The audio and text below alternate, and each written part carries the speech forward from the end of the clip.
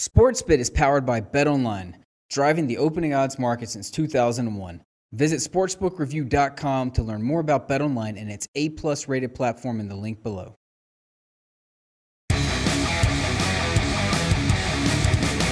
Big game breakdown. The Wizards and the Pistons in Detroit Friday night on ESPN.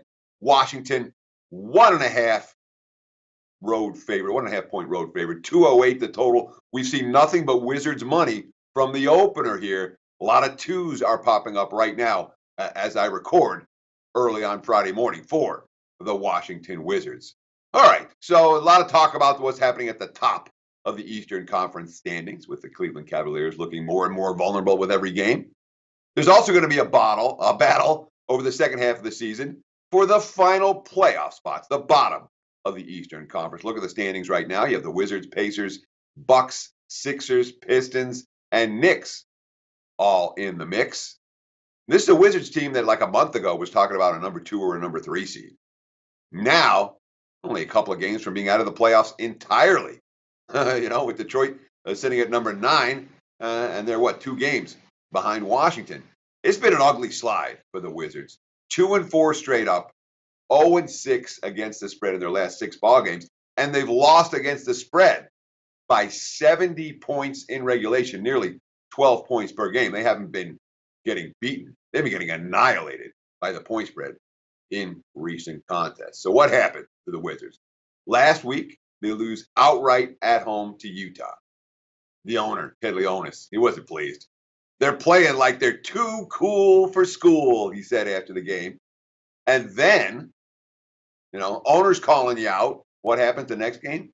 You come out against Charlotte, and they had nothing. The allowed the Charlotte to make their first 10 shots uh, of the game, lost 133 to 109.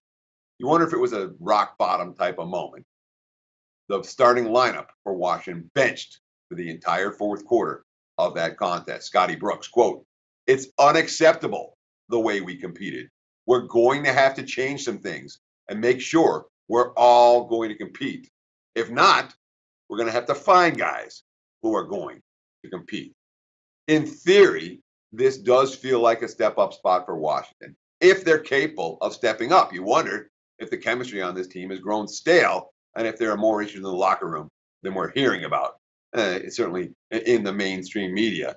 But from a are we going to show up tonight perspective, this is a statement game for Washington. If they show up, it's worth noting. If they don't show up, it's worth noting.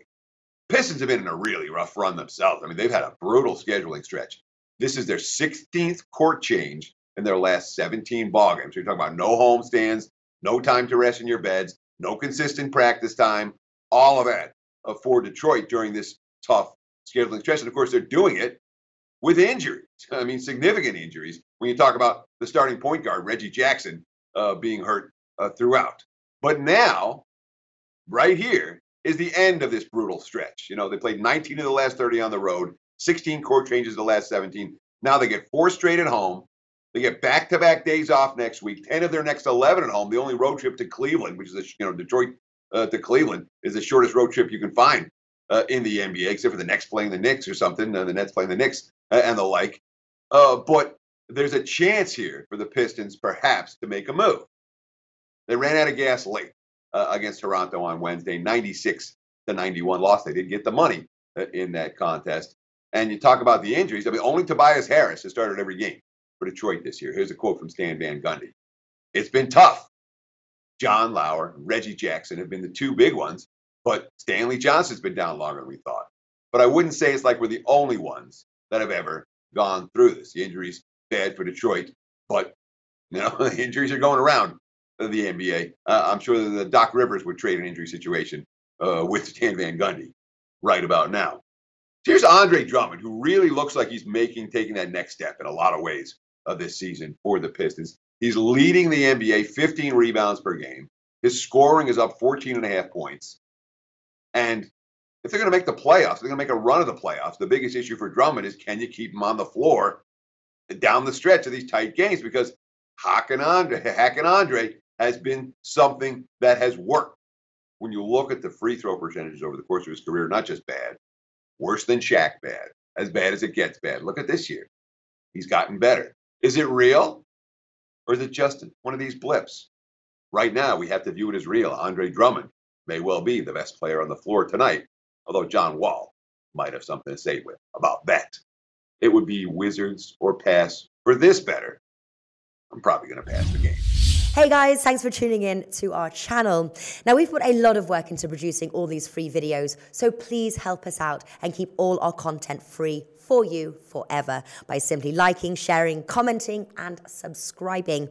Now, not to mention, a visit to our industry leading website will warm the hearts of all our SBR employees, especially myself. Now, the links are over there to the left, uh, so do check those out. Thanks for watching.